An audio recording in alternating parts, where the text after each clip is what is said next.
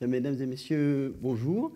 Merci beaucoup d'être euh, là pour partager euh, ce, moment autour. Donc, du, il est temps aujourd'hui finalement de faire un, petit bilan de, d'une mission spatiale qui, est en train de, prendre fin.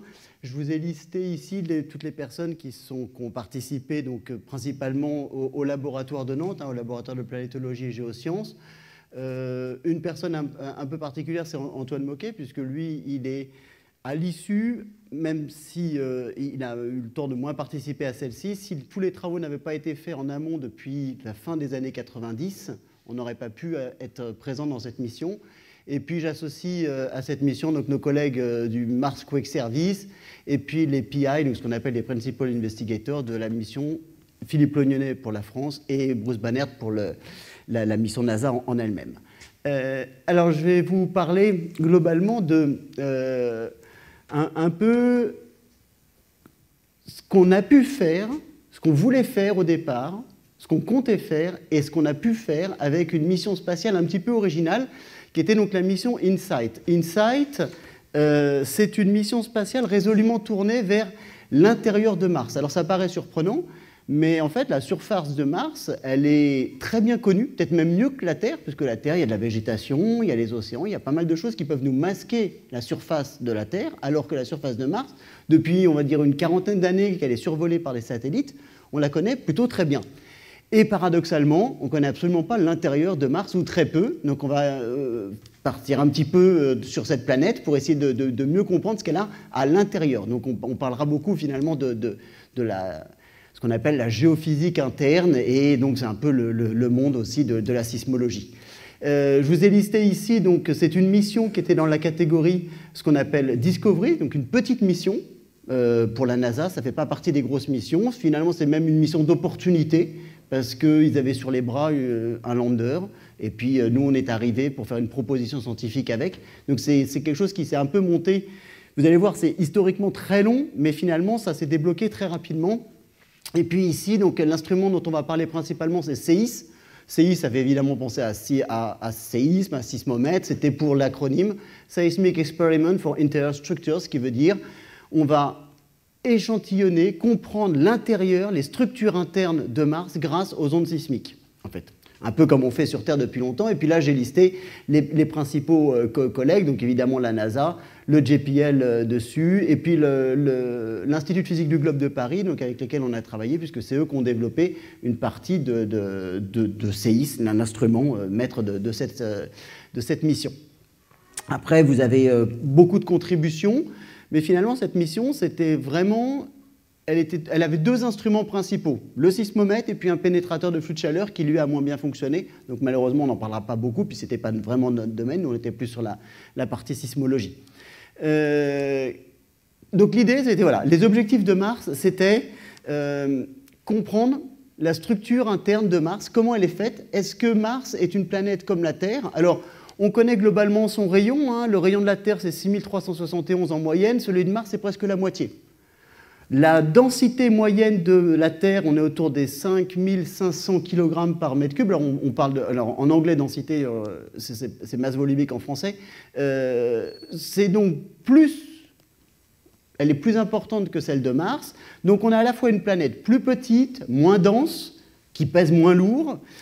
Euh, et pourtant, et pourtant, on a des traces sur Mars de pas mal de choses qui nous montrent que ça a été une planète active, tout comme la Terre l'est aujourd'hui. Donc en fin de compte, c'est deux planètes qui sont dans ce qu'on appelle, vous êtes, euh, si vous êtes habitué, vous avez pu voir mes collègues aussi du LPG, donc peut-être que ce mot vous connaissez, ce qu'on appelle la zone d'habitabilité, c'est-à-dire la distance par rapport à une étoile qui dit ben pourquoi pas? La, vie, elle, pourrait évoluer là, dans, cette, dans, cette, gamme de distance. Ben Mars et la Terre sont toutes les deux dans cette gamme de distance. Il y a eu de l'eau sur Mars, comme il y a eu de l'eau sur la Terre. Il y a eu un champ magnétique sur Mars, comme il y a eu un champ magnétique sur la Terre. Il y a eu plein de choses. Et il y a 3 milliards, 3 milliards 5 environ, tout s'est arrêté sur Mars. Donc la question, c'est est-ce que ça s'est arrêté parce que fondamentalement c'était très différent à l'intérieur, ou, ou ça s'est arrêté pour d'autres raisons? Donc euh, un peu la, question qui a motivé cette mission, c'était de se dire, eh ben, allons voir à l'intérieur. Alors comment on fait pour aller voir à l'intérieur d'une planète? Ça, par contre, c'est un peu plus compliqué. Mais c'était donc principalement euh, retrouver les conditions thermiques, et puis donc, au-delà de la structure interne, ça c'est l'expérience qui a un peu moins bien fonctionné, enfin même qui n'a pas fonctionné du tout, euh, et puis après, évidemment, des liens avec euh, ce qu'on appellerait la tectonique, c'est-à-dire qu'effectivement, s'il y a des séismes, c'est qu'il y a forcément une tectonique, et puis normalement aussi, il y a aussi des impacts météoritiques qui pourraient survenir le temps de la mission.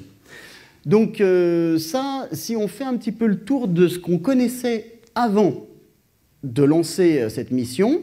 Vous avez ici une, très belle synthèse qui est, publiée, euh, qui vous montre en fait la topographie telle qu'on la connaît de, Mars, grâce justement à tous ces survols depuis, euh, les années 70 hein, de, la surface de Mars par différents satellites qui ont pris des mesures d'altimétrie et puis des mesures aussi de gravité. Donc ici, vous avez le planisphère martien, alors qu'on reconnaît les, spécialistes de, la géologie martienne vous diraient qu'il y a ce qu'on appelle une dichotomie, c'est-à-dire on pourrait presque diviser la planète en deux, en une surface, une hémisphère nord qui serait peu cratérisée, vous voyez, elle est caractérisée par du bleu, très lisse, ça veut dire qu'il n'y a pas de cratère dessus, pas de gros cratères en fait par rapport à tous ceux qu'on peut voir sur la, sur la face euh, sur l'hémisphère sud. Donc il n'y a pas de gros cratères.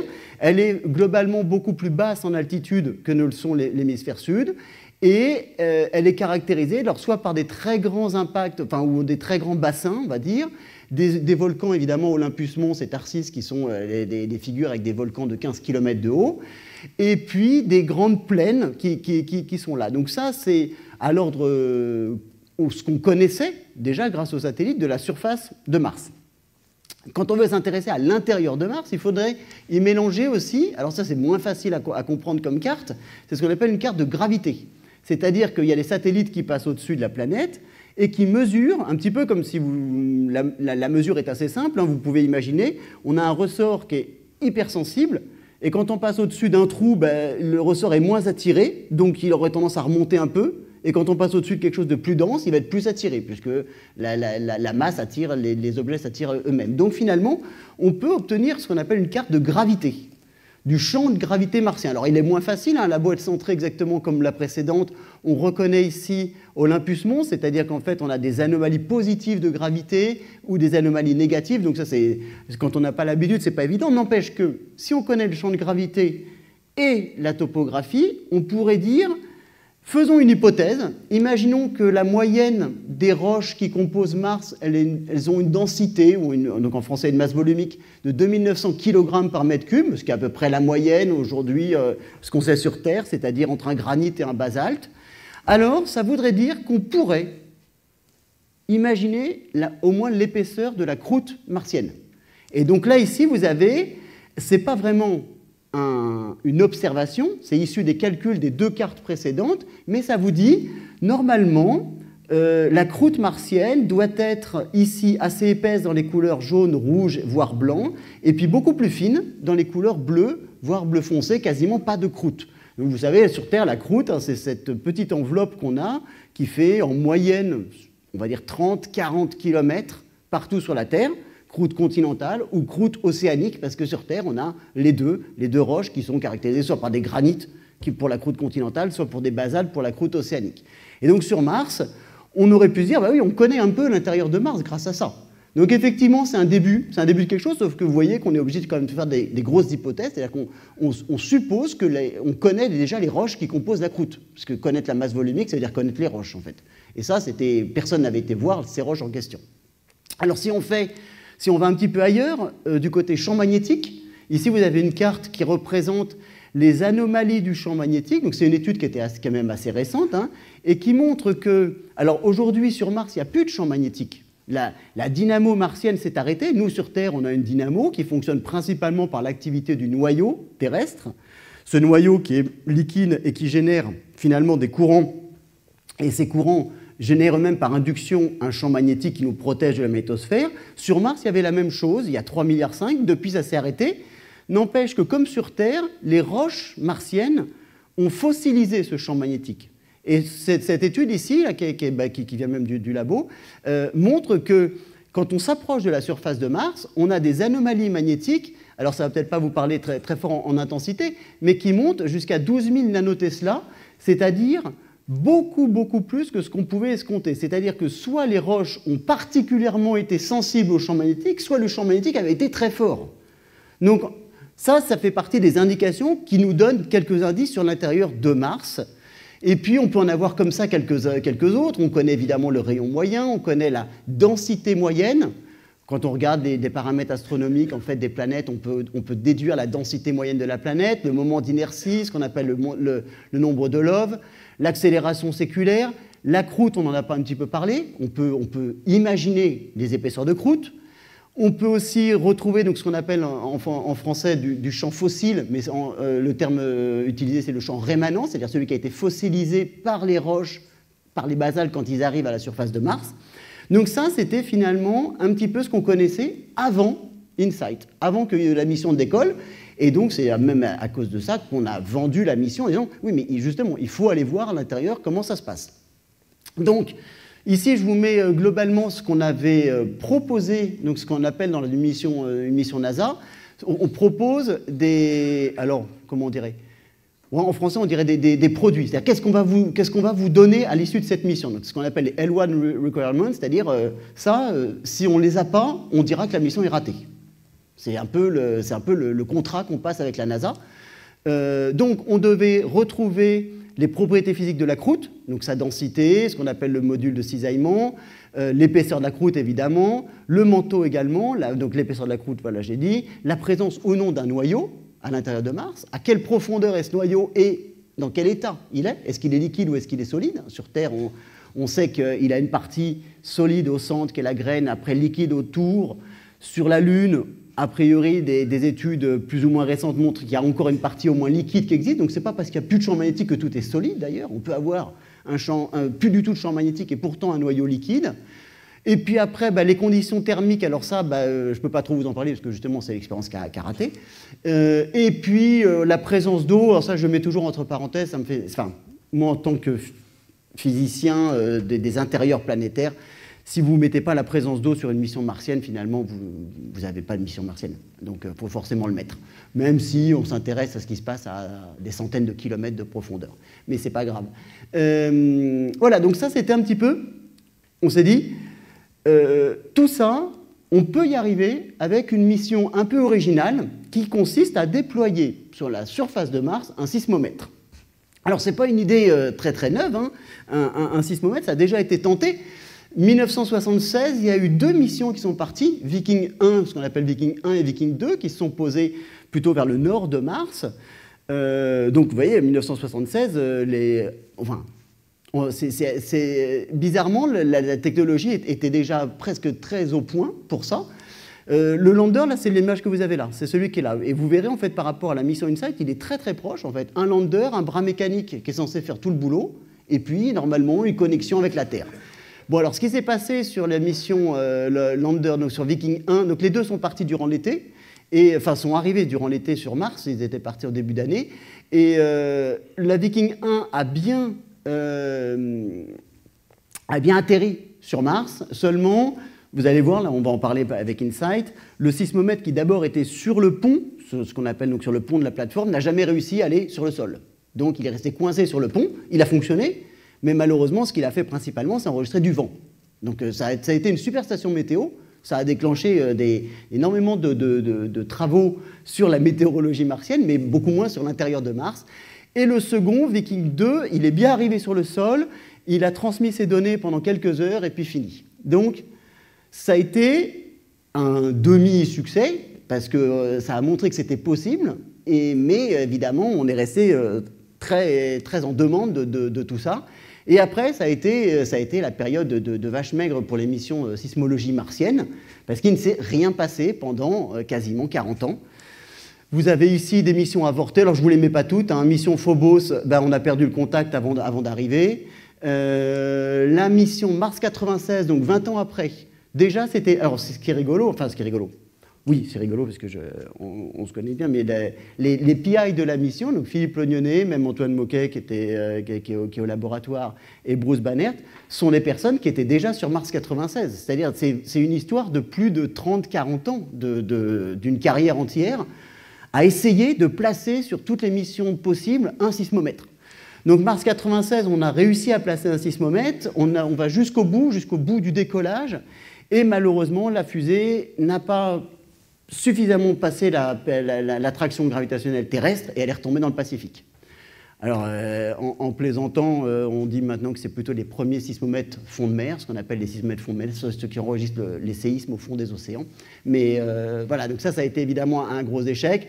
Et puis après, je ne sais pas combien de missions avortées, annulées. Netlander, qui était une mission très très audacieuse, un début, début, fin du oui, c'était ça, c'était fin, de, fin du XXe siècle. Passer en phase B, donc c'est-à-dire accepter, hein. une mission en phase B, elle, est acceptée, elle devait, elle devait partir, elle devait être financée, puis la guerre du Golfe est arrivée. Donc il y a eu des, des réajustements de crédit aux États-Unis qui ont fait qu'elle a été avortée, qui s'est transformée en ExoMars, qui s'est transformée en GEMS. GEMS, c'était une mission qui était un petit peu euh, audacieuse aussi, c'est-à-dire qu'avec une seule euh, sonde, on allait larguer trois sismomètres à différents endroits de la, surface martienne. Et puis à nouveau, pas, marché. Et il a fallu attendre. Finalement, euh, qu'est-ce que j'ai mis là? Oui, il a fallu attendre. Donc euh, le programme 2012 pour le recyclage de tous ces travaux qui ont été faits pour placer enfin sur la plateforme, euh, donc elle porte un nom, une plateforme Phoenix en fait, un sismomètre. Alors l'histoire est, Vous voyez, donc il y a eu un long historique. Hein, tous, les mêmes personnes hein, qui, étaient là depuis le début de cette mission à vouloir poser un sismomètre sur Mars. Il s'est trouvé qu'en fait, la NASA, euh, dans le début, on va dire, dans une période creuse, dans les années 2007-2008, ont, échoué deux fois à atterrir sur Mars. Donc ça, c'est très embêtant pour eux, pour les investisseurs, pour tout ça. Et donc ils ont fait une mission qui s'appelait la mission Phoenix, qui officiellement n'avait aucun instrument scientifique à bord, qui était juste une mission de démonstration pour dire où on peut y arriver. Donc ils ont construit deux plateformes Phoenix, et puis ils ont montré qu'effectivement Phoenix s'est posé, alors d'ailleurs Phoenix on le voit ici, s'est posé tout, au nord de Mars, et ça a été un succès, donc euh, très bien, parfait, un lander qui arrive, un bras mécanique qui fait plein d'opérations, qui creuse avec une pelle, qui, etc. Tout ça fonctionne parfaitement, alors il n'y a pas de résultat scientifique parce qu'il n'y a pas de, science à bord officiellement, mais ils ont montré que ça fonctionnait parfaitement. Donc, pas besoin d'en faire un deuxième. Il nous reste une plateforme Phoenix sur les bras, et c'est un petit peu comme euh, sur le Bon Coin. Ils ont dit bah, qui est intéressé euh, pour euh, utiliser une plateforme, juste ce qu'on appelle en, anglais un lander. Alors évidemment, vous avez dû voir mes collègues du laboratoire. Euh, Mars, c'est super sympa à cause des rovers, en fait, ceux qui se déplacent, qui récupèrent des échantillons, qui font des trous, qui analysent les roches, tout ça. Donc là, un lander, un truc qui reste immobile, qui ne sert pas à grand chose, avec des panneaux solaires à côté, c'est pas très vendeur. Et nous, on s'est greffé dessus, en fait, rapidement, en disant, bah si, c'est génial pour un sismomètre, il n'y a plus qu'à poser le sismomètre, et puis c'est parti. Et donc, c'est comme ça que la mission a été acceptée dans le programme Discovery en août 2012. Donc, cette mission, en fait, elle, comportait tous ces instruments-là, euh, vous voyez, donc le prototype ressemble à peu près à, ce que vous avez vu déjà des années 70, hein, c'est-à-dire un lander qui est ici, des panneaux solaires qui vont se déployer pour délivrer de l'énergie, et puis pas mal d'instruments.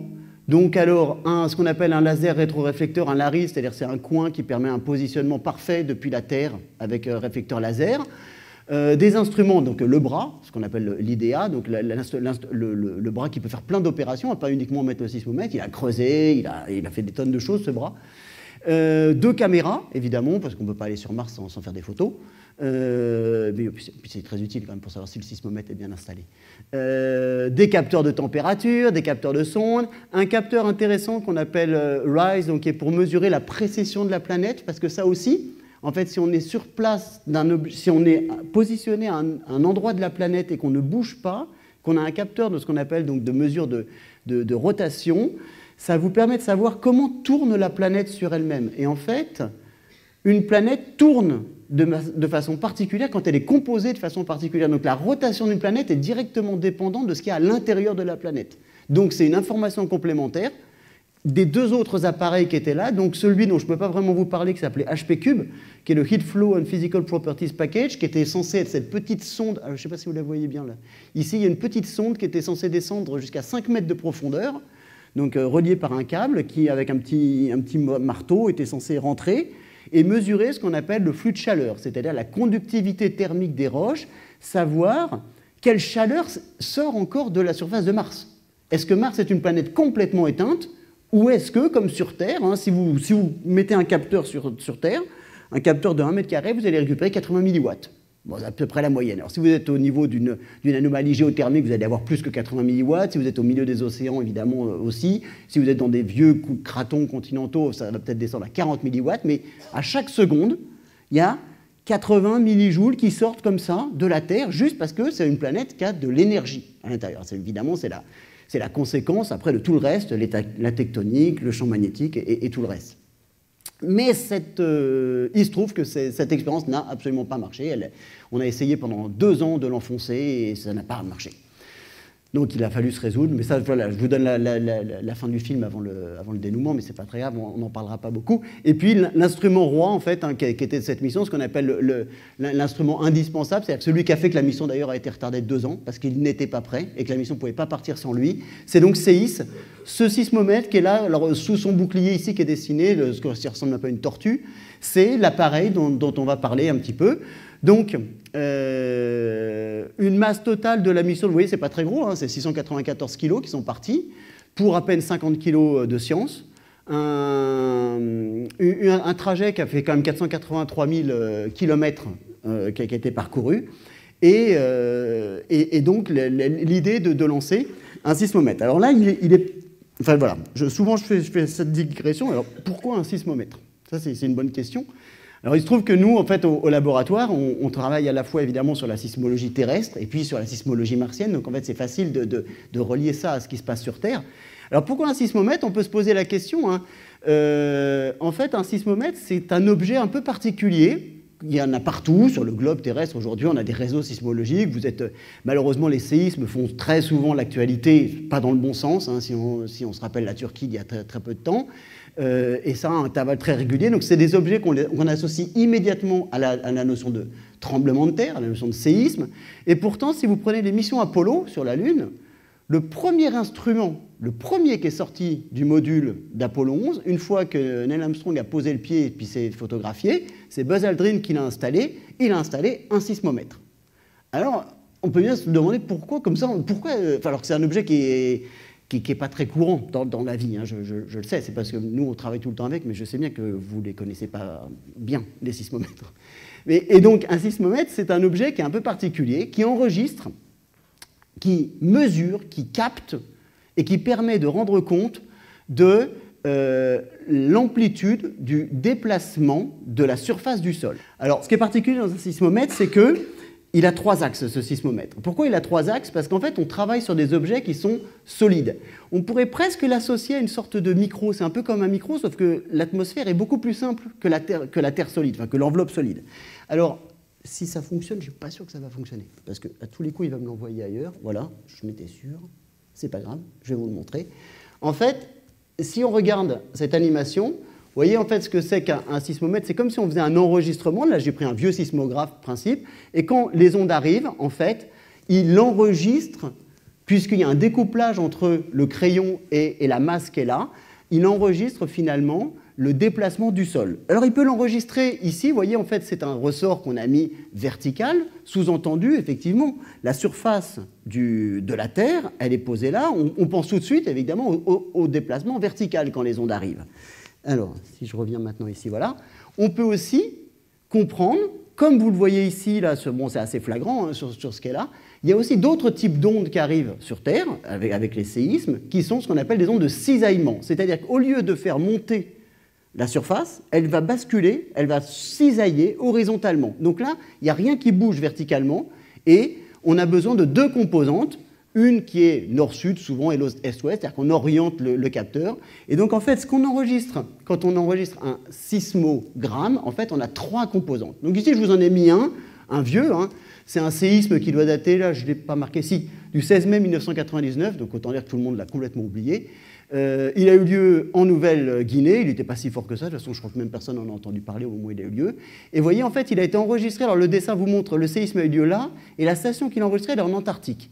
Donc, en fait, il a vu arriver des ondes qui, sont, qui arrivent quasiment nord-sud. Elles viennent presque du nord, ces ondes-là, pour lui.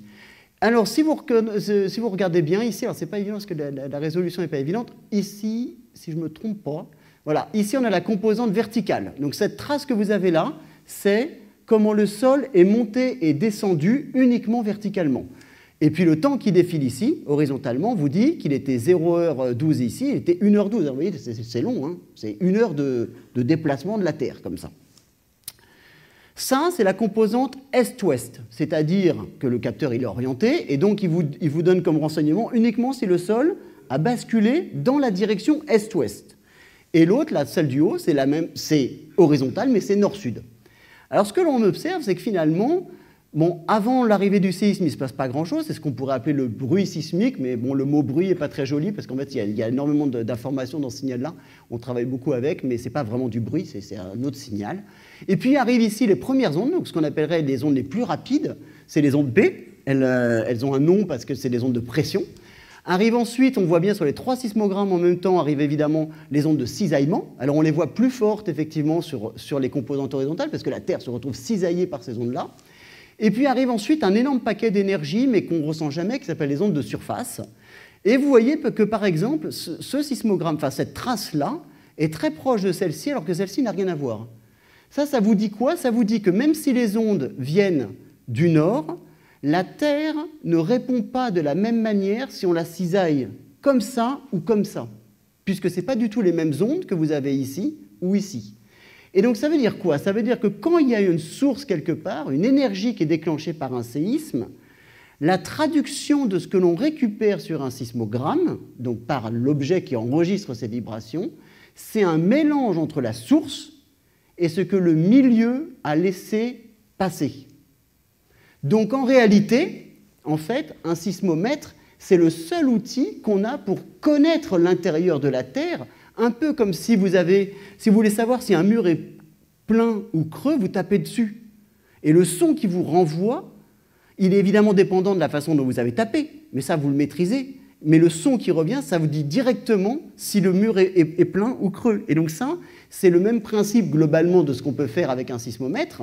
Alors ça, c'est une des figures, je vais essayer de vous l'expliquer rapidement, c'est une des figures les plus, je pense, les plus belles du monde de la physique, de la physique euh, des, objets naturels. Ici, je vous ai pris juste un exemple, c'est le séisme de Toroku en, 2011, hein, le, gros séisme, vous vous en souvenez sûrement, de 9 mars 2011, qui a ravagé la, centrale de Fukushima, hein, au Japon, qui a été enregistré donc évidemment partout sur le globe. Ça, c'était une station qui était à côté de Nantes, hein, du côté de Piriac-sur-Mer. Et donc, je l'ai mise verticale, c'est-à-dire que le temps défile verticalement pour vous montrer ce que euh, représente la figure qui est juste ici. Euh, vous voyez, il y a des arrivées. Il y a des arrivées d'ondes, tout comme on a, vu tout à l'heure les arrivées d'ondes. Si au lieu de les voir ici horizontalement, on, les voit ici. Là, je les ai mises verticalement. Donc il ne se passe rien, puis tout, il y a une première arrivée. Mais imaginez que pendant quasiment tout un siècle, alors peut-être pas tout un siècle, mais depuis 1930, entre 1930 et 1980 environ, les sismologues du monde entier ont passé leur, leur journée à pointer ces arrivées, à dire à telle heure exactement, je regarde ma montre, à telle heure sur ma trace, je vois arriver une phase. Je sais où est le séisme, donc je peux connaître la distance qui me sépare uniquement le séisme du sismomètre. C'est tout ce qui m'intéresse. Je n'ai même pas besoin de savoir si le sismomètre est en Alaska et le séisme est euh, du côté de San Diego, ou que le sismomètre est en Afrique et que le séisme est du côté de la Nouvelle-Zélande, c'est pas grave. Je regarde juste la distance qui me sépare du séisme. Donc la station est ici, le sismomètre est ici, le, séisme est représenté ici, et les ondes parcourent comme ça l'intérieur de la planète. Et ici, c'est cette distance qui est représentée dans l'axe horizontal. Et en ordonnée, ce que vous voyez, c'est le temps, uniquement le temps qui a été pointé. Chaque point, c'est un sismologue qui a fait une mesure, une observation.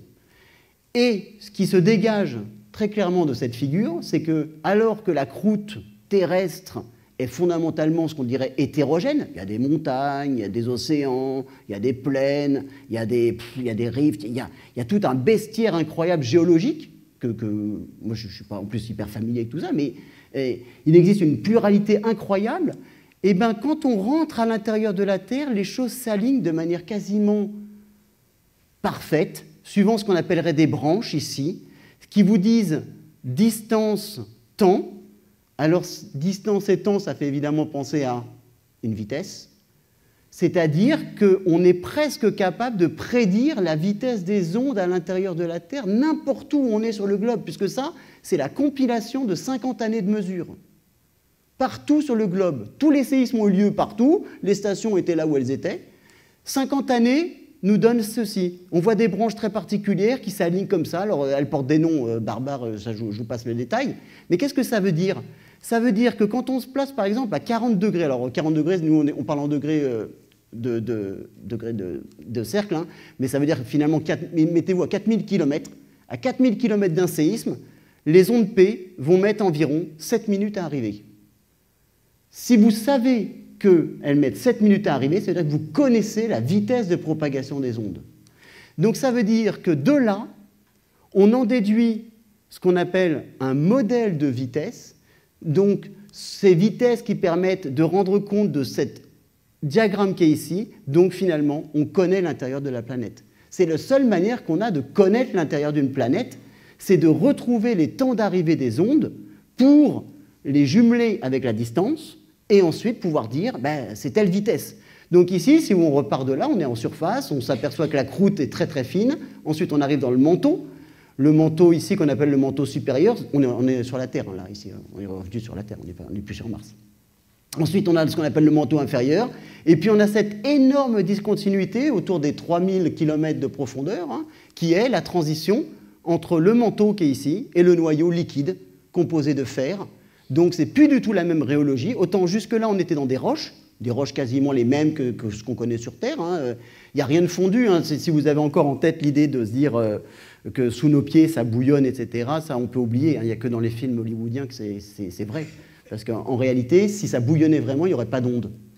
Et les ondes, elles sont là. Donc c'est sûr que c'est 100% solide ce qui est ici c'est même hyper rigide, puisque vous voyez, la propagation des ondes ne fait que, la vitesse de propagation des ondes ne fait qu'augmenter avec la profondeur. Donc même s'il fait de plus en plus chaud à l'intérieur de la Terre, la pression est tellement forte que les ondes vont de plus en plus vite, en fait. Donc elles sont de plus en plus solides, jusqu'au moment où, effectivement, on arrive à l'intérieur complet de la Terre, 3000 km de profondeur, on rentre dans le noyau. Dans le noyau liquide, en rouge, c'est ce qu'on appelle la vitesse des ondes S. Alors je, je passe les détails, mais les ondes S sont très sensibles à la rigidité la vitesse des ondes S tombe à zéro, ça veut dire qu'il n'y a plus de rigidité, c'est du liquide ou du gaz. Mais du gaz, c'était compliqué à expliquer à l'intérieur de la Terre, donc finalement, c'est du liquide. Et c'est du liquide, et on pense même que c'est. Il y a énormément d'arguments pour dire que c'est du fer liquide, et c'est ça notre noyau terrestre qui génère le champ magnétique. Et tout à l'intérieur, ici, on a la graine solide. On revoit arriver à nouveau les vitesses d'onde S à l'intérieur de la Terre. C'est-à-dire que si on veut ausculter une planète, si on veut faire la radiographie d'une planète, on est obligé d'y mettre un sismomètre. C'est la seule manière que l'on a à chaque séisme qui passe, d'enregistrer des ondes qui vous traduisent comme, comme, à l'hôpital, comme une radio finalement. On fait passer des ondes, sauf qu'elles sont électromagnétiques à l'intérieur d'un corps pour savoir s'il y a une fracture ou pas. Ben, c'est pareil. Alors on peut faire aussi d'autres choses. Là, ça, c'est des travaux qu'on avait fait en préparation de la mission, où on, pouvait montrer, parce que oui, je ne vous ai pas dit, mais finalement vous aviez compris, euh, les réductions budgétaires sont ce qu'elles sont. InSight est une mission avec un seul sismomètre. Alors on aurait bien aimé en avoir 3, 4, 5, un réseau évidemment, parce que c'est quand même nettement plus, plus intéressant, mais il n'y avait qu'une seule station, donc finalement, euh, il fallait se débrouiller avec une seule station. Alors ce qui est intéressant, c'est que les, je vous ai parlé de ces fameuses trois composantes. Alors les trois composantes nous aident pour savoir d'où viennent les ondes, parce qu'on peut tourner le sismomètre pour dire c'est par là qu'elles viennent, donc on sait d'où elles viennent, et on peut aussi définir à quelle distance elles sont. Donc ça, c'est des tests qu'on avait faits, vous voyez. Euh, la station ici est le triangle vert, le séisme qu'on avait pris en compte, c'était un petit séisme qui a lieu euh, dans, la zone ouest de, la France. Et puis juste en analysant juste un seul sismogramme, on a dit, normalement, les ondes viennent, alors c'est plus facile à voir ici, les ondes viennent de la direction où il y a le trait rouge, et la distance est, donnée par la couronne. Donc l'intersection des deux, c'est là où est le séisme. Avec une seule station, vous voyez, ça marche pas trop mal ici, là ça marche plutôt bien, et même quand on prend une station qui était du côté de Quimper, ça marche plutôt pas trop mal. Donc on, peut arriver avec une seule station à dire quand même d'où viennent les ondes et euh, à quelle distance elles sont de la, de, la Terre. Il y a quand même une inconnue là-dedans, c'est la profondeur. Hein. Évidemment, ça, ça, devient compliqué parce qu'en plus, le séisme, il est dans un milieu tridimensionnel, donc il y a latitude, longitude et la profondeur. Donc des fois, il est très profond, des fois, il est moins profond. Euh, on peut aussi s'amuser à regarder donc, ce qu'on appelait ces fameuses ondes de surface et voir qu'avec un seul séisme, on peut, donc ça c'est ce qui avait fait finalement valider d'ailleurs la mission, hein. c'est comme ça qu'on a montré à la NASA que c'était possible, avec même un seul séisme, il suffisait que dans la, dans la mission entière on aurait un séisme, avec les ondes de surface qui font le tour d'un côté, qui font le tour de l'autre côté, on arrivera à ce qu'on appelle traduire ça en termes de, probabilité de vitesse, qui vous donnera bah, la même chose que ce qu'on cherche, c'est-à-dire une probabilité de vitesse d'onde sismique en fonction de la profondeur. Donc là, vous voyez, on a fait, des tests sur, euh, sur, Terre et sur Mars en disant un seul séisme nous permettrait d'aller au moins jusqu'à 400 km de, profondeur. Le, modèle qu'il fallait retrouver, c'est la ligne verte, et les probabilités que vous voyez en bleu et rouge, c'est ce qu'on retrouvait. Donc finalement, ça ne marche pas si mal, même avec un seul séisme et une seule station. Et puis on peut aller plus loin, ça c'est les différents tests qui ont été faits dans le cadre de ce qu'on appelle le, Mars Structure Service, mais euh, je ne vais pas rentrer dans le détail. Le, but étant de parler d'Insight, de, revenir à la mission d'Insight. Maintenant que vous savez à quoi sert un sismomètre, donc évidemment un sismomètre ça sert à localiser, à détecter et à localiser les séismes, mais au-delà de ça, à s'intéresser au chemin qui est pris par les ondes, qui vous renseignent de l'état de l'intérieur du milieu de propagation, donc de l'intérieur de la planète. De retour sur Insight. Alors Insight aurait dû partir en 2016, finalement il est parti en 2018, c'est pas très grave, hein. mai, mai, 2018. Il est parti euh, euh, d'une base euh, américaine au Vandenberg, qui est du côté de la Californie. C'est une petite mission, donc pas besoin de partir de, des grosses missions, c'est pas un gros, lanceur, hein, comme la, bah, la, mission de Joyce qui va partir dans pas longtemps vers, vers, Jupiter, là, qui part de Kourou, ou les autres missions de la NASA qui, elles, partent de Cap Canaveral. Euh, ici, je vous ai mis globalement ce qui se passe quand, nos préparations, évidemment.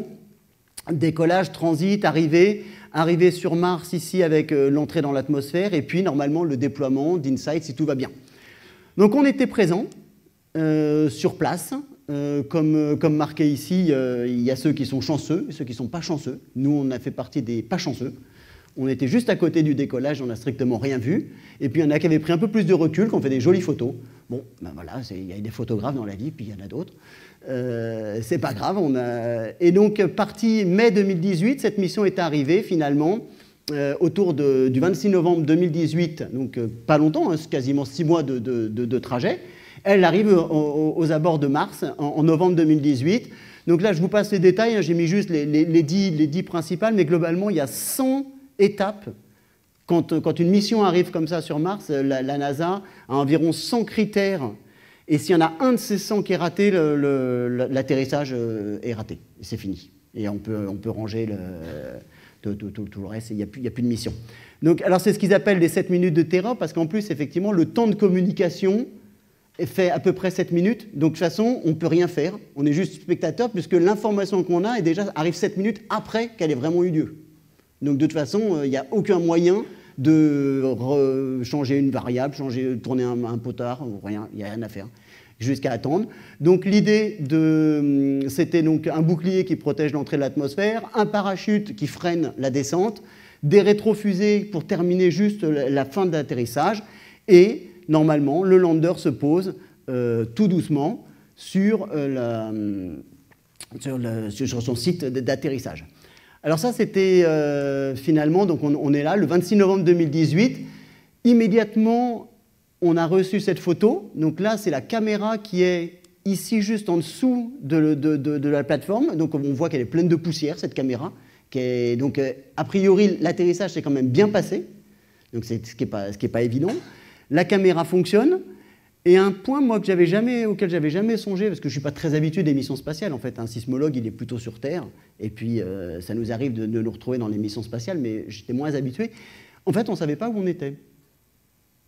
Personne ne peut vous dire où vous êtes, en fait, quand vous êtes euh, sur Mars. Il faut, le savoir. Et là, ça nous a pris quelques jours quand même pour que les satellites fassent une fois, deux fois, trois fois le tour. Ici, vous avez les ellipses que avait prévues la NASA. On devait se poser au milieu de cette ellipse verte-là. Et finalement, on s'est posé un peu loin par rapport à ce qui était prévu. Hein. Et donc, finalement, pendant quelques jours, on ne savait même pas où on était.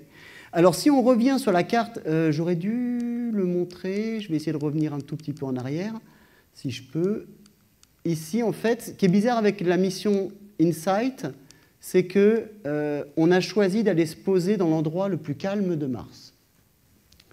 Alors, ça peut, ça peut être gênant quand même pour un sismomètre, puisqu'il est censé quand même enregistrer les séismes là où il y a potentiellement un petit peu d'activité. Mais les contraintes techniques, en fait, et vous avez vu l'histoire des missions martiennes, ont motivé plutôt les ingénieurs de la, NASA à dire on ne va pas risquer, on va se mettre loin des pentes, loin des volcans, loin de tout ça, on va se mettre là où c'est très calme. Et euh, c'est là où on va se poser. Donc nous voici, les satellites repèrent le parachute, repèrent les différents objets, et puis on, retrouve l'emplacement d'Insight. Et dès le lendemain, en fait, puisque les transmissions se passent de cette manière-là, hein, le, le, le, lander enregistre, euh, enfin, fait des mesures, euh, fait des photos, il garde tout sur lui jusqu'à ce que le satellite passe au-dessus de lui. Il transmet ces informations au satellite, lequel satellite nous les renvoie sur Terre. Donc il y a un petit jeu de, latence. On reçoit des informations globalement en moyenne deux fois par jour. Et donc dès le lendemain, après cette toute première photo un peu euh, Bon, on voit qu'on est déjà dans le bon sens, c'est pas mal. Hein. le, ciel est en haut et la, terre est en bas. On voit qu'il y a un gros caillou devant. Bon, et puis ça s'arrête là. La soirée, on, va, se coucher.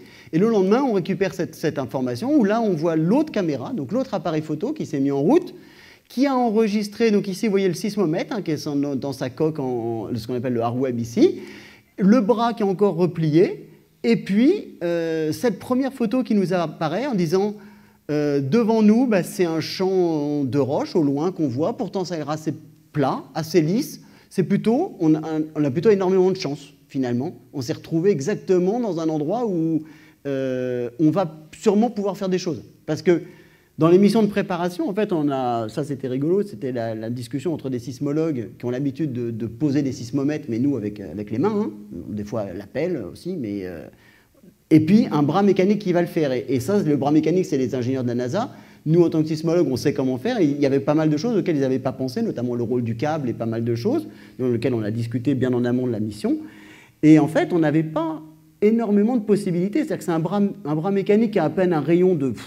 on, a, on avait 3 mètres carrés devant nous. S'il y a un rocher qui est là, c'est fichu. En fait, on ne peut pas le poser, le sismomètre. Donc, effectivement, c'était plutôt grande, un assez grand soulagement de savoir que c'est lisse et, plat autour. Et puis, bon, bah, le bras se déploie, puis commence à faire des photos. Donc, ici, vous avez des photos des pieds. Euh, parmi ces photos, il y en a une qui est intéressante, qui aurait pu nous alerter un petit peu. Hein. Vous voyez l'énorme caillou qui est ici. Donc le lander l'a un petit peu déplacé en, atterrissant quand même, il a fait un petit choc. Et ce caillou qui est là, ça montre en fait que juste en dessous, il y a quand même pas mal de gros cailloux. Hein. Ceux qu'on voit au loin, là ici, je ne sais pas si ça se voit bien, mais il y a des, pas mal de gros cailloux. En fait, ils ne sont pas très très loin, ces gros cailloux. Et c'est sûrement aussi un des problèmes de, notre appareil qui n'a jamais pu rentrer à l'intérieur de, Mars. Euh, et puis donc après commencent tous les tests, donc ce qu'on appelle les opérations. Donc on était en, train de se relayer au, JPL euh, en Californie pour euh, regarder si tous les jours les données qui arrivent sont conformes à ce qu'on attend, etc. Donc en fait le sismomètre est composé de deux sismomètres. Il y en avait un qui était un peu une sorte de la Rolls-Royce du sismomètre, celui qui va arriver à enregistrer, parce que je ne vous ai pas dit les, les les, on va dire la, précision technique de ces appareils, mais il faut imaginer que c'est un appareil qui est capable d'enregistrer donc, euh, ce qu'on appelle un sismomètre large bande, sur Terre, mais comme, comme celui qui est, parti sur Mars. Vous imaginez que le sol monte, alors juste on prend la composante verticale, monte et descend de quelques nanomètres. Je ne sais pas si vous voyez ce que c'est qu'un nanomètre. Un nanomètre, vous prenez un millimètre, vous le divisez en mille, et ce millième, vous le redivisez en mille à nouveau. Et ça, il va mettre par exemple 10 secondes. Donc les vibrations qui vont mettre 10 secondes à faire quelques nanomètres, elles sont enregistrées. Alors je ne vais pas vous le faire en temps réel parce que vous n'allez pas voir grand-chose, mais c'est un appareil qui a une sensibilité énorme. Alors vous imaginez bien que le balancer sur une fusée, même s'il est bien verrouillé, etc., euh, il a des chances quand même de, trinquer durant le décollage, le voyage, l'atterrissage. Donc en fait, il était couplé à un autre sismomètre moins, on va dire, moins sensible, moins euh, performant, mais beaucoup plus résistant. Donc en fait, il y avait deux sismomètres en un. Un, on va dire, qui était celui de la mission initiale, puis l'autre qui était un peu le sismomètre de secours si jamais euh, ça ratait. Donc tant qu'on est, pardon, donc, tant qu'on est installé sur le pont, ici, le sismomètre il est là-dessous, tant qu'on est installé sur le pont, celui qu'on a allumé pour voir si tout fonctionnait bien, c'était celui de secours. puisque celui qui est très sensible, il va falloir le mettre quand le sismo sera sur le sol. Donc c'est le deuxième atterrissage du sismomètre, parce que ça, ce n'était pas gagné non plus. Et donc ici, vous avez les toutes premières données. Donc vous voyez, on est, euh, le, là c'est le 11 décembre, hein. on, a allumé le sismomètre, tous les autres appareils fonctionnent, très bien, on commence à voir. Le temps défile horizontalement, et là ce que je vous ai mis, ce qu'on appelle un spectrogramme, c'est-à-dire euh, l'énergie sismique, donc c'est comme un sismogramme, sauf qu'on l'a décomposé par fréquence. Donc les fréquences du bas ici sont euh, les mouvements du sol qui sont lents, on va dire, et puis les, couleurs, la ligne du haut ici sont les fréquences qui vont vite. Et la couleur vous renseigne si ça va fort ou pas fort. Alors ce que vous voyez en fonction du temps, c'est des, zones ici, on, voit des alternances, donc ça veut dire que le, vent souffle, fait bouger un peu le, le, lander, donc très bien. On voit apparaître aussi des grandes bandes bleues, c'est-à-dire que quand c'est bleu, c'est très bas, l'énergie est très basse, donc c'est comme si ça se calmait, des grands moments de calme, beaucoup plus calme d'ailleurs que sur Terre en fait. Sur Terre, ça, on l'a quasiment jamais, parce qu'en euh, permanence, il y a ce qu'on appelle le, bruit océanique, l'agitation des vagues et de l'océan qui en permanence fait du, signal. Alors des gens appellent ça du bruit, en fait c'est un vrai signal hein, qui est très intéressant, mais qui est, omniprésent. Évidemment, sur Mars, ce n'est pas, pas possible. Donc ces bandes-là qui semblent dire, tiens, une accalmie, et puis on voit arriver des bandes horizontales qui veulent dire que ça vibre toujours à la même fréquence. Alors ça, c'est les panneaux solaires, hein, évidemment, ou le lander en lui-même, c'est-à-dire que quand on est en train de regarder le lander, Dès que le vent vient se prendre dans les panneaux solaires, parce qu'évidemment la première des opérations, ça a été d'ouvrir les panneaux solaires pour récupérer le plus vite d'énergie possible, et les panneaux solaires, c'est des énormes euh, capteurs à vibration, évidemment. Donc dès que le vent se lève, il peut faire vibrer le, lander suivant ce qu'on appelle ses différents modes propres. Et donc c'est ça qu'on voit, c'est les différents modes de vibration du lander. Et puis par moment, on voit même ces sortes d'accroches qui sont là. Vous voyez, donc ça c'est la composante horizontale, donc on voit très bien. Ça c'est les mouvements du bras. Dès que le bras bouge, en fait, il fait bouger le sismomètre. Donc ça, ça nous renseigne que même encore installé sur le pont, tout fonctionne bien. Le sismomètre, ben, c'est celui de secours, mais le sismomètre de secours fonctionne bien, il réagit bien à toutes les vibrations qu'on pouvait attendre. Donc ici, je vous ai mis un, dessin assez rapide de euh, comment il est composé, hein, et, donc justement des différentes collaboration internationale qu'il y a eu autour de ce sismomètre. Hein. ce qu'on appelle le cradle, c'est le, pied réglable qui a permis de le mettre à l'horizontale, évidemment, parce que sur Terre, c'est facile, on tourne les vis avec, avec la main. Euh, sur Mars, il faut que tout se, se, remette à l'horizontale parfaitement avec euh, cela. Donc ça, c'est les les collègues allemands qui l'ont fait. Euh, donc ce qu'on appelle les SP, c'est les petits sismomètres, c'est juste celui de secours, on va dire, qui était accroché à l'extérieur de la sphère ici, qu'on appelle la sphère sous vide, qui, reliait, qui euh, renferme le sismomètre qui s'appelle le VBB, Very Broadband, pour dire le, sismomètre ultra sensible, celui qui a été développé donc, par les collègues parisiens à l'IPGP. Euh, la carte d'acquisition, c'est les Suisses. Donc, vous voyez, en fait, c'est finalement un, amalgame de, plusieurs euh, collaborations internationales pour arriver à faire ça. Donc, ça, c'est quand on était encore sur le pont. Et puis arrive l'étape, la dernière étape du déploiement du sismomètre, qui consiste à dire, ben maintenant, il va falloir passer du pont au sol. C'est pas évident, hein, parce que si vous vous souvenez de la mission Viking, euh, il y en a un qui est resté coincé euh, en permanence sur le pont. Alors, pour la petite histoire, je crois que ça s'appelle des. On avait fait une ORT là-dessus, des fungibles. En fait, c'est des boulons explosifs. Puisqu'évidemment, euh, on le boulonne au moment où il part de terre, mais quand il arrive sur place, il n'y aura personne pour déboulonner. Donc, il faut que le boulon explosif explose. Et donc ça, ça a été un peu l'angoisse parce que ce n'était pas évident qu'il explose. Hein. Euh, ça peut arriver qu'il n'explose pas. Et donc, euh, donc euh, là, ici, vous avez le bras avec son petit grappin. Vous voyez, ça met quand même 4 jours hein, pour juste positionner le bras au-dessus du petit crochet. Parce qu'à chaque fois, il faut le faire bouger un petit peu, attendre la photo. 12 heures plus tard, la photo arrive sur Terre. On analyse la photo, on le redéplace.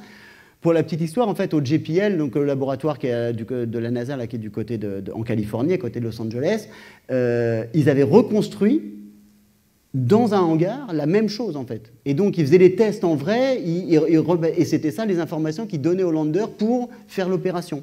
Donc là, ça nous prend quelques jours quand même pour arriver à, faire ça. Et puis très rapidement, ça s'est passé le, sol 22. Alors pour ceux qui ne sont pas habitués, ce qu'on appelle un sol, c'est le jour martien depuis le début de la mission. Donc 22e jour de mission, euh, le sismomètre est accroché et en très peu de temps, la photo qui suit c'est le sismomètre qui est toujours accroché, avec autour de lui, il a quitté le pont et il n'a plus, euh, plus la, que, de la terre autour de lui. Donc il est bien arrivé sur le sol. Ça, c'est la caméra qui est accrochée au bras. Et ici, ce que vous avez, c'est la caméra donc, qui est sous le lander, qui a vu la même chose. Et donc, vous voyez le bras qui tient le sismomètre, avec le ruban ici, ça c'est le câble, hein, c'est le, fameux générateur de, bruit. Sur Terre, c'est ce qui conduit le maximum de vibrations. Et puis, euh, donc voilà, quelques jours plus tard, donc 37e jour de mission, le sismomètre est toujours installé. On a essayé de faire ce qu'on pouvait pour euh, que le câble en lui-même soit le plus à plat possible sur Terre, enfin sur le sol, parce que c'est une énorme prise au vent. Et qui dit prise au vent dit ça fait vibrer entièrement le, sismo. Donc c'est pas ça qu'on cherchait à enregistrer. Donc euh, pas mal de, travail là-dessus. Et puis euh, on avance un petit peu. On arrive au 72e jour de mission. On passe maintenant au cas du capot, enfin ce, qui s'appelle en, anglais le WTS, Wind and Thermal Shield, c'est-à-dire une, superbe construction euh, qui permet de le protéger et des variations thermiques et des variations et, du grain de sable et, et, des variations de température. Et donc, alors ce qui est impressionnant, c'est qu'il y a à peine, je crois, un, centimètre autour du sismo. Donc il ne faut, surtout pas qu'il le touche. Et donc il faut arriver à ce qu'il soit exactement positionné au millimètre près pour, pour juste encadrer le sismo sans jamais le toucher. Et donc, depuis le sol 72, c'est-à-dire, je crois, le 8 février 2019, CEIS est sous sa cloche, ici, sous son WTS, protégé comme on peut, euh, prêt à fonctionner. Alors quand je dis comme on peut, c'est que c'est la pire des installations qu'on puisse faire pour un sismomètre. Jamais sur Terre quelqu'un fait ça. Au minimum, on prend une pelle, on creuse euh, de 50 cm, on l'enterre, on fait quelque chose. Bon là, ce n'était pas possible, évidemment. Donc, tout ce système-là a, consisté à essayer de, limiter le plus possible les impacts que pourrait avoir l'atmosphère sur le sismomètre. Et puis, donc, si on fait un, zoom un petit peu de ce qui se passe dessous, donc voilà, le sismomètre, il est sous son hardware lui-même sous son WTS, et on retrouve ici l'installation, donc avec les trois capteurs du VBB, avec son orientation. Un capteur pour vous dire si finalement, alors, au début, ils ne sont pas nord, nord-est verticaux, ils sont un peu comme on peut, à, incliner un petit peu, et donc ça nous permet après, par une matrice de rotation, de retrouver les trois composantes. Mais ils sont tous alignés ici, on a les angles parfaitement, on a même retrouvé la position et l'orientation avec un système qui est, particulier. En fait, c'est un, collègue qui, travaille sur l'ombre. En fait, grâce à l'ombre de ce qu'on appelle un gnomon, un petit, un petit objet qui, qui dépassait, on a su comment il était exactement orienté par rapport au nord. Parce que ça, c'est pas évident non plus, une fois qu'il est posé juste avec un, bras, de savoir où est le nord euh, dessus.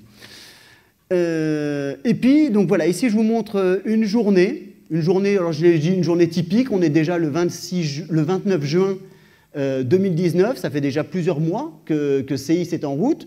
CIS et l'ESP. Donc, alors quand je dis CIS, il ne faudrait pas que je dise CIS, en fait, il faudrait que je dise VBB et SP. Donc, le VBB, il est. donc, ici, j'ai fait un, un, zoom, mais on va regarder. Euh, c'est une journée martienne. Donc ici, vous avez toute la journée qui est, là représentée, et la portion qui est en dessous, c'est le zoom qui est entre les deux barres. Voyez euh, Qu'est-ce que c'est qu'une journée martienne finalement? C'est du calme, pas grand-chose, un petit peu d'agitation, le soleil se lève, le vent se lève, donc du coup, ici, on commence à avoir énormément d'agitation liée à toutes les turbulences atmosphériques qui passent, et puis la nuit commence à arriver, à nouveau, ça se recalme, et euh, le, sismomètre en lui-même se calme. Donc là, ici, vous avez, euh, par comparaison, en fait, entre le, VBB et le SP, vous voyez la différence de sensibilité entre, entre, les deux. Là, ils sont mis à la même... Là, ils sont pas mis... Chacun est à son échelle, alors que là, ils sont mis à la même échelle. Vous voyez la différence de sensibilité entre les deux, entre le capteur qui, lui, est ultra sensible, et l'autre qui est, bon, qui, est, comme il est, mais... Euh, euh, on peut le voir aussi comme ça. Donc, je vous ai parlé de spectrogramme tout à l'heure. C'est la même chose ici. Donc, ça, c'est une journée martienne. Donc, ça, c'est des documents qui, après, ont été réalisés à chaque jour de la mission par ce qu'on appelle le Mars Quake Service. Donc, des collègues qui étaient à la fois à Paris, euh, à Toulouse, en Suisse, à l'ETH de Zurich, en Allemagne également, euh, où vous avez donc début de journée. Donc, le signal en temps, il est en haut. Et puis ici, vous avez donc la répartition fréquentielle. Donc, ici, vous êtes dans les très, longues, très basses fréquences. Donc là, vous regardez si le sol monte, descend très mollement, on va dire. Et puis en haut, c'est quand c'est très rapide. Donc, on est ici autour des 50 Hz. On retrouve ces fameuses lignes qui sont là, qui sont la signature ben, du lander, hein, celui qui vibre en permanence finalement. Alors c'est plus ou moins Lander, ça dépend, il y a pas mal d'études dessus. Et puis ce qu'on voit ici, par contre, c'est un petit peu, euh, bah, ça c'est la, la, la, vie qui est comme ça. On voit des, sortes de, grands pics, là, vous voyez, qui, sont verticaux vers le bas, enfin depuis le bas vers le haut. Ça c'est ce qu'on appelle des... Hum, alors en sismologie, on utilise le mot glitch, c'est-à-dire en fait c'est des artefacts, c'est des parasites qui sont là. Euh, on n'y peut rien. L'électronique est ce qu'il est, le métal est ce qu'il est. Quand on descend à des températures de moins 70, moins 80 la nuit pour monter à moins 20 la journée, on a des telles amplitudes thermiques que les composants électroniques eux-mêmes génèrent des vibrations et claquent. Alors ça, c'est une des hypothèses. Ça peut être aussi des grains de sable qui viennent taper. Mais tout ça, c'est des signaux parasites en fait qu'on voit. Malheureusement, ces signaux parasites, ils sont présents. Il y en a énormément. On en a une, plus d'une centaine par jour. Alors, il faut faire avec. C'est comme ça. Euh, ici, vous retrouvez la période où le, soleil se lève et se, couche, hein, puisque c'est l'agitation thermique et que le sismomètre étant vraiment posé sur le sol, il ressent très fortement l'atmosphère. Euh, et puis, donc, il a fallu attendre le sol 173, donc là on était le 23 mai, donc 23 mai 2019. On a, ici je vous ai mis donc, les trois composantes du sismomètre, hein, donc composante horizontale, euh, horizontale nord, euh, est et puis verticale en bas. Euh, là, je vous ai mis 1000 secondes. Il y a 1000 secondes qui défilent devant vous. On voit ces énormes pics hein, dont, je vous parlais, là, ces fameux euh, glitches. Euh, bon, ben, faut faire, voilà, faut, faut, regarder ce qu'il y a entre les glitches, puisque les glitches, c'est pas du, pas du signal, on va dire géologiquement intéressant. Et là-dedans, finalement, il y a un truc très très particulier. Vous le voyez? Non, alors vous le voyez pas. Ici, vous avez une barre hein, pour vous indiquer ce qui se passe. Il y a quelque chose de très particulier ici, ce petit signal qui est là en fait, si je zoome dessus et qu'on commence à le filtrer un petit peu différemment, c'est-à-dire qu'on commence à voir arriver sur cette barre-là rien, puis une première arrivée d'onde et une seconde arrivée d'onde. Donc ça, ça doit faire écho à ce qu'on a vu tout à l'heure sur Terre. Une première arrivée d'onde qui est une onde P, une seconde arrivée d'onde qui seront les ondes S qui vont arriver pour cisailler. Donc elles sont émises au même... C'est exactement la même logique que, euh, je dis souvent ça, même si ce n'est pas euh, la même chose, mais ça permet de mieux comprendre. Euh, on, sait tous que quand il y a un coup de, éclair quelque part, on a à la fois le son et la lumière. La lumière se propage très vite, le son se propage moins vite. Et si on compte le nombre de secondes qui séparent l'éclair que l'on voit du son qu'on entend, du tonnerre qu'on entend, on, on, dit, ça impressionne les enfants, on ah, il est à 3 km. Des fois, 5 km, comme ça on fait, le scientifique, c'est important. Euh, et, du coup, on peut, dire où il est. Mais là, c'est un peu pareil, en fait. Les deux sont émises au même moment, au moment du, séisme, mais il y en a qui se propagent plus vite que d'autres. Donc finalement, la différence de temps ici, entre la P et la S, vous renseigne de la distance à laquelle est la source. Donc, en analysant l'onde P, on sait d'où il vient. En analysant la différence de temps entre les deux, on sait à peu près à quelle distance il est. Et donc, on a enregistré ce jour-là le premier vrai séisme martien qui était localisé. Donc Insight est ici. Alors c'est pas évident parce que ça, je vous ai fait une, copie écran de, l'outil qui, était utilisé. La, station, donc le sismomètre est ici, et l'événement Sol 173, donc celui qui s'appelle S073A, cet événement-là est environ à 1670 km d'Insight, localisé vers l'est, ici du côté de ce qu'on appelle Cerberus Fossé. Donc une zone, alors là pour le coup, le, géologue s'efface un petit peu, le sismologue s'efface un petit peu euh, devant les géologues qui eux connaissent bien cette région-là. Ah oui, c'est une zone où il y a des fractures, on voit des fractures à la surface, donc c'est pas impensable qu'il y ait des séismes puisqu'on voyait les, satellites qui sont passés nous ont dit qu'il y avait déjà pas mal de, failles ou de fractures déjà présentes à cet endroit-là. Euh, durant l'été 2019, donc vous voyez, alors il a fallu attendre longtemps avant de comprendre ce que c'était déjà un séisme martien, puisque en fait, sur Terre, ce qui est rigolo, c'est qu'on ne se pose même plus la question. Les séismes, non seulement on les connaît, puis depuis plus d'un siècle, on a mis des sismomètres, et puis surtout des sismomètres, on en a plein. Donc nous, dans le réseau, euh, dans le réseau français, euh, même dans le quart nord-ouest de la France, le réseau dont on s'occupe euh, à l'observatoire, on a 26 stations. Si on a un signal sur une seule, bah, c'est peut-être un camion, c'est peut-être un troupeau de chèvres, c'est peut-être quelque chose. Si on a un signal sur 8 stations en même temps, bah, on sait que c'est un séisme. Donc en fait, la puissance du réseau, euh, ne laisse pas le doute en fait à, la source. Là sur Mars, il n'y a personne pour vous dire si c'est un séisme ou pas un séisme. Donc il faut analyser le signal en permanence, faire des hypothèses pour vérifier si oui ou non c'est ça. Donc le premier c'était le sol 173, donc on était le, 5 mai. Euh, le deuxième c'est le sol 235, on se retrouve le, 25 juillet. C'est le deuxième autre séisme que l'on voit. Donc vous voyez, celui-là, il est plus joli. Il est plus petit en termes d'amplitude, mais il est beaucoup plus net. Il y a une vraie onde P très belle, une très belle onde S qui est ici. Bizarrement, en fait, une, atténuation assez forte sur une composante. On ne voit même pas l'onde P ici, pourtant elle est là, hein, mais on, on, la voit à peine. À nouveau, pas très très loin, 1500 km de distance d'Insight, à nouveau vers l'est, à nouveau du côté de Cerberus Fossé. Donc en fait, on commence à se dire, il y a tout, et effectivement peut-être une zone où il y a pas mal de séismes à l'est d'Insight. Finalement, on s'est peut-être pas posé, euh, on, s'est posé dans un endroit où ça devait être calme, ben ça, finalement, on a quand même des séismes à cet endroit-là. Et puis ça a été l'époque où les premiers articles scientifiques sont sortis. Donc vous voyez, typiquement, il y a eu des comparaisons entre ce sol 235, celui qu'on vient de voir, avec euh, des signaux très particuliers ou si on le compare à ce qu'on connaît, sur Terre, finalement, ça ressemble assez, à celui-ci, un séisme très profond qui a été enregistré du côté de, donc un séisme qui était du côté de Gibraltar, qui a été enregistré en Grèce, donc à peu près la même distance, à peu près euh, les mêmes formes d'ondes, et si on le comparait à quelque chose sur Terre, on dirait qu'il est assez profond. sur, Mars, c'est difficile à savoir parce que cette, notion de profondeur, euh, il, nous manque, il, des données. Donc là, on, manque un peu de, on va dire, de, données pour, enfin d'observables pour ça. Et puis après, il y a d'autres euh, mesures intéressantes hein, qui, ont été, publiées dans, ces papiers-là, notamment, euh, on n'en parle pas trop, mais, euh, parce que moi je suis plus tourné vers l'intérieur des planètes, mais ici vous avez une comparaison entre les signaux enregistrés par CEIS, donc par le VBB, et juste en dessous le capteur de pression atmosphérique. Et en fait, ce qui se passe, c'est que très régulièrement, il y a des petits tourbillons qui traversent la Mars. En fait, ils ont été observés depuis, depuis déjà longtemps sur pas mal de missions martiennes.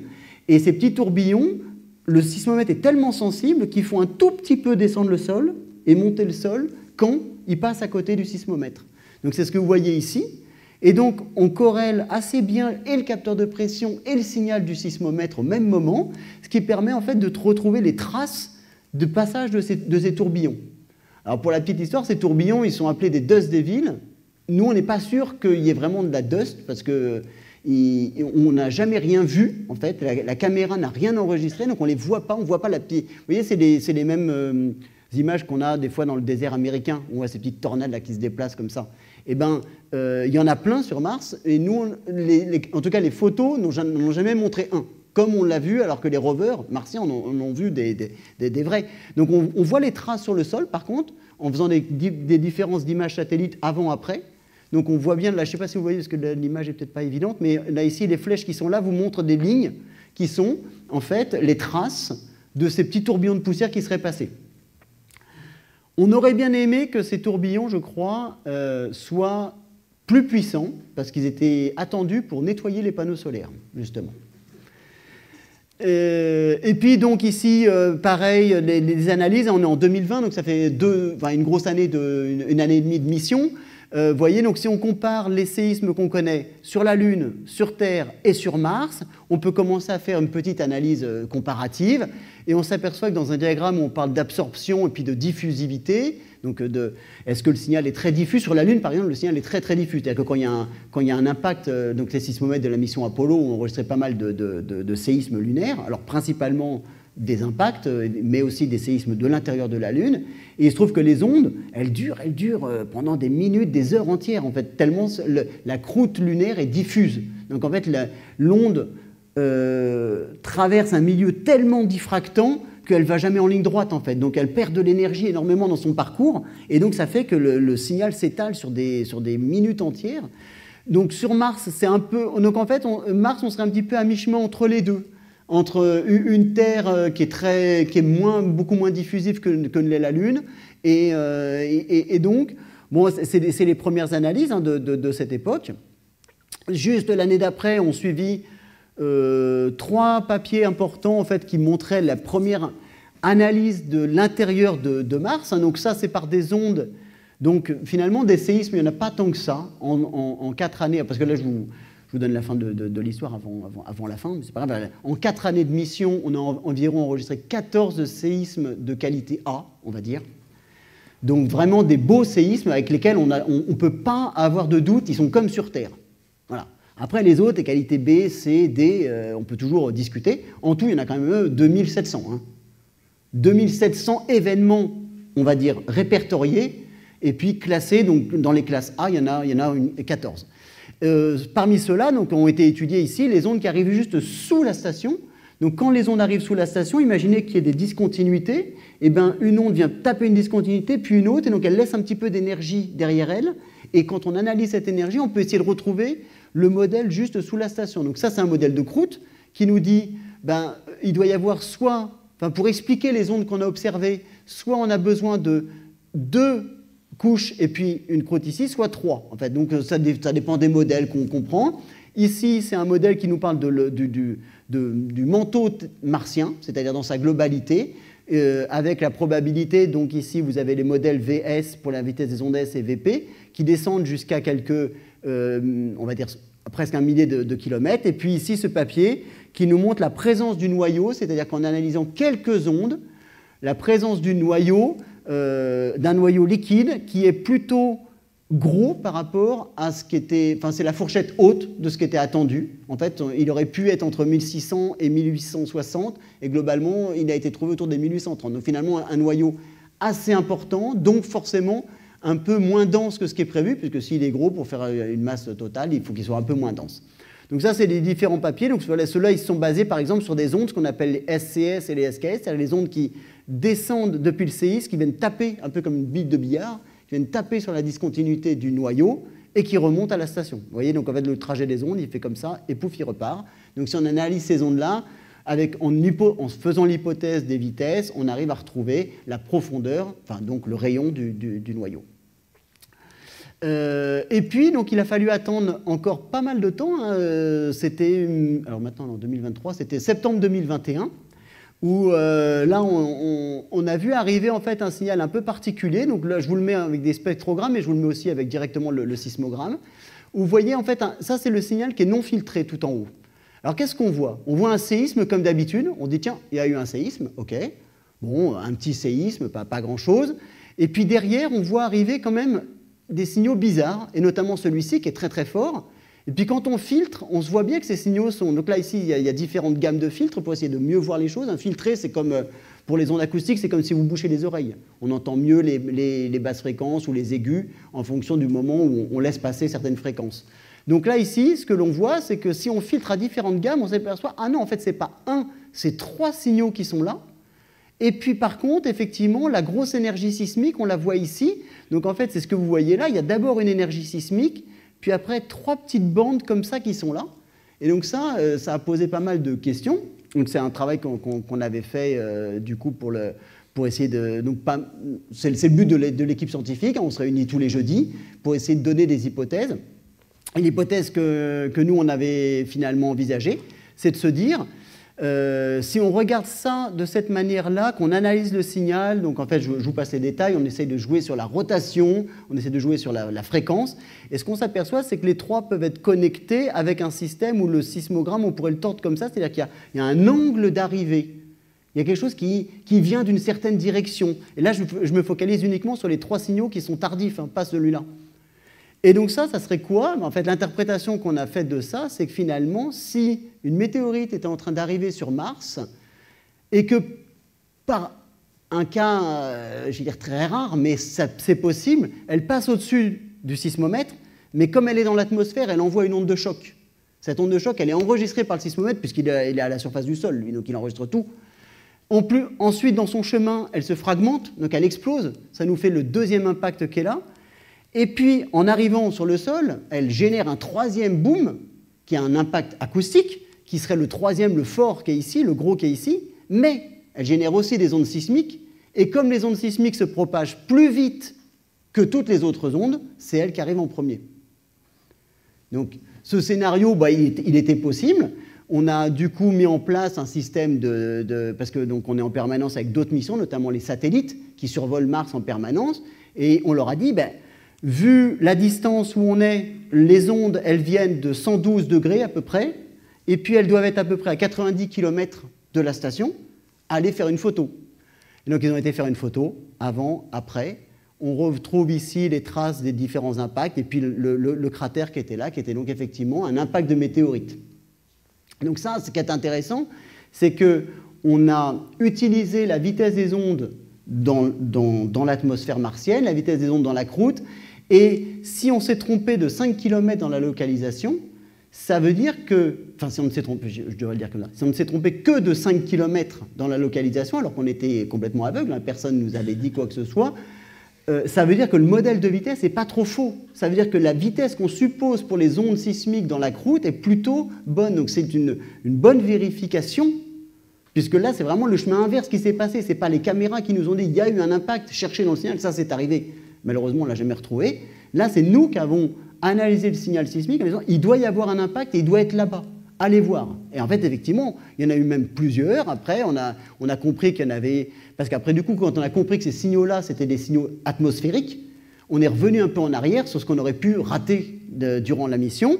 Et effectivement, autour d'Insight, donc Insight est là, donc ça c'est un papier qui, est sorti en, en 2022, Insight est ici, et ce que l'on voit, c'est qu'effectivement, il y a eu plusieurs cratères d'impact de météorites jusqu'au dernier qu'on a trouvé il était quasi sûr qu'il était là, et puis euh, le, satellite ne voyait rien. Et il a fallu qu'il fasse trois passages autour pour le retrouver coincé dans un petit flanc d'un autre cratère, en fait, où on a à nouveau, effectivement, donc on a particulièrement euh, travaillé ici sur cette partie. Donc, vous voyez, ici, ça c'était la prédiction. On avait prédit que l'impact devait être là, et en vrai, il était ici. Ça, c'était le, premier des impacts. Et après, ça a ouvert la voie à plein d'autres impacts. Et puis, alors, pour. Euh, Juste dans la foulée, en fait, fin d'année 2021, on se retrouve, euh, c'était déjà presque la fin des, confinements et du, Covid, on se retrouve euh, fin 2021 avec cette fois-ci les satellites qui nous disent on a enregistré un très gros signal, donc on était septembre 2021, fin septembre 2021, on enregistre un très gros signal, est-ce qu'on pourrait retourner voir le satellite? Donc ça me met un peu de temps. Et donc, on détecte un premier, euh, on va dire un, premier très gros cratère. Et c'est exactement l'inverse qui s'est passé au mois de donc Noël 2021. Le 24 septembre 2021, on, enregistre un énorme signal sismique. Et parallèlement à ça, la caméra, donc là c'est vraiment un coup de chance, hein, parce que la caméra est passée deux fois au même endroit et a détecté le plus gros cratère jamais enregistré sur Mars. Donc en fait, Ici, vous avez la photo donc, de l'article qui avait été publié. C'est un cratère qui fait 150 km de, diamètre, qui a éjecté, même ici, vous voyez des petites taches blanches, en fait, qui a réussi à éjecter même de, l'eau qui était à l'intérieur de, la croûte. Donc, c'est des traces d'eau qui sont là. Et pour la première fois, finalement, on a et l'enregistrement sismique et le visuel de l'impact de cette météorite dessus. Et puis, euh, donc, finalement, ça nous donne aussi pas mal d'informations, puisque alors, ce qui est intéressant pour la structure interne de Mars, c'est que là, les impacts, ils sont très intéressants, puisque la profondeur du séisme, on la connaît, c'est zéro. Et en plus, on sait exactement où il est localisé. Donc, ça nous aide énormément pour retrouver le chemin qui va être pris par les ondes. Donc ça, il y a beaucoup de boulot qui est encore en cours, évidemment, euh, de, dessus, pour analyser euh, ça et donc faire passer des, ce qu'on appelle des algorithmes d'inversion euh, pour essayer de tester des, millions, des milliards de modèles pour voir lesquels sont, possibles. Et puis, euh, et puis c'est donc là, j'ai pas mis de photos, mais enfin, je sais, il n'y avait pas vraiment de photos. La, mission euh, mai 2022, on enregistre le plus gros séisme martien jamais enregistré. Alors, il a été vendu par la NASA comme étant de magnitude 5. En fait, ce n'est pas vraiment une magnitude.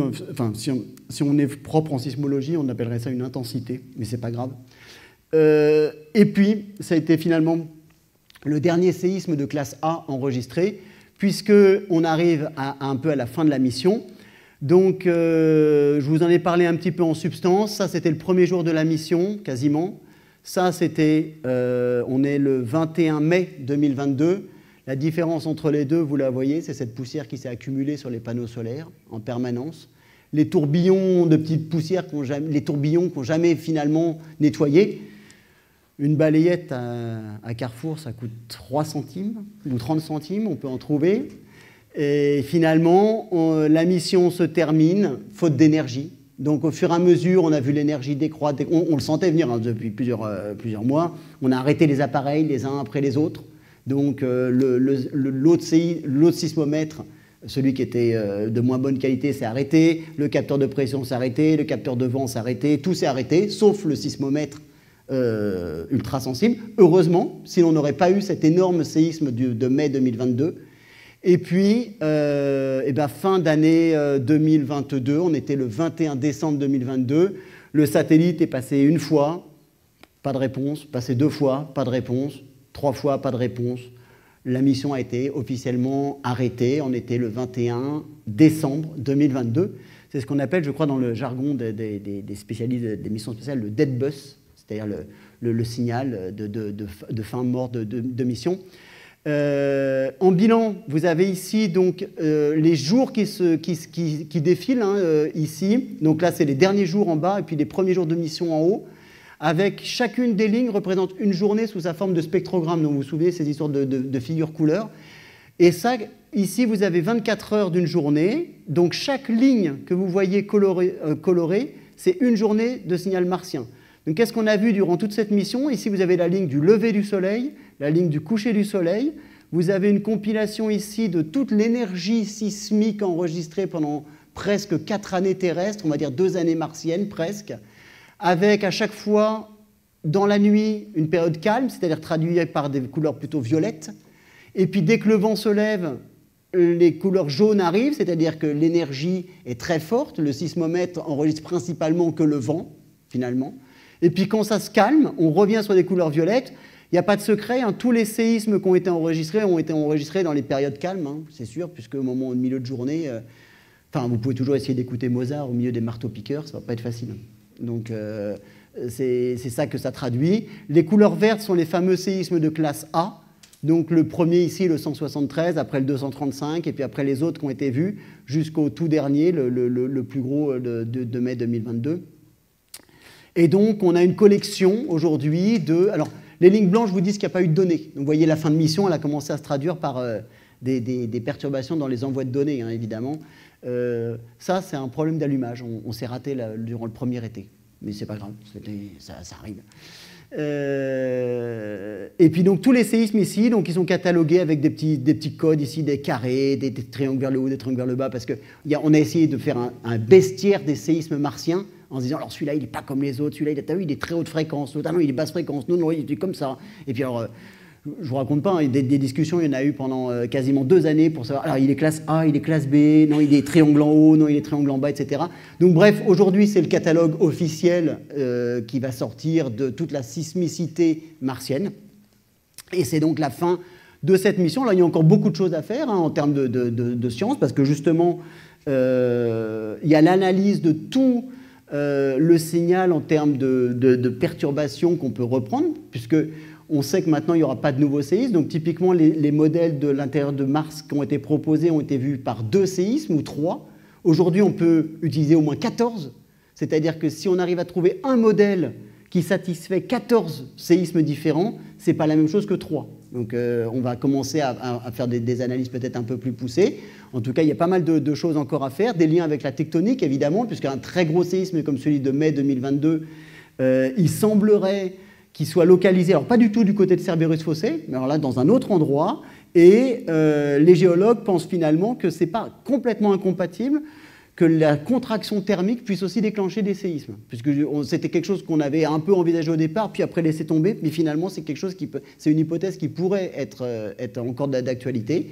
Et puis, euh, donc, c'était c'est le moment de, dire au revoir à, la, Insight avec cette photo qu'avait fait, c'est un artiste qui a été fait, donc c'est des, c'est des, des, images qui existent chez nos collègues parisiens, où, on avait prédit effectivement des impacts de météorites, et ils, sont effectivement arrivés, ils sont intéressants.